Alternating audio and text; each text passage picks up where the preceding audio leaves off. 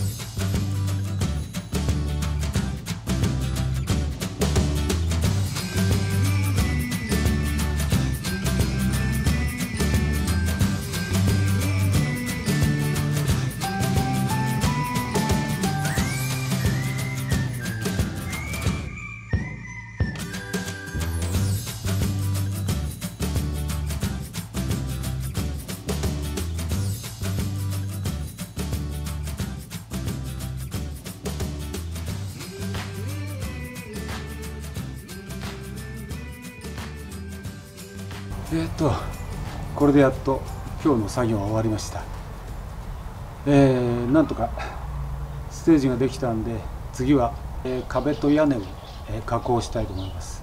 図面で描いたものと実際に、えー、作ったものが一致するかっていうのがちょっと心配ではありますけどもなんとかなればいいなっていうふうに期待はしています、え今日はこの辺で動画を終わりにしますけども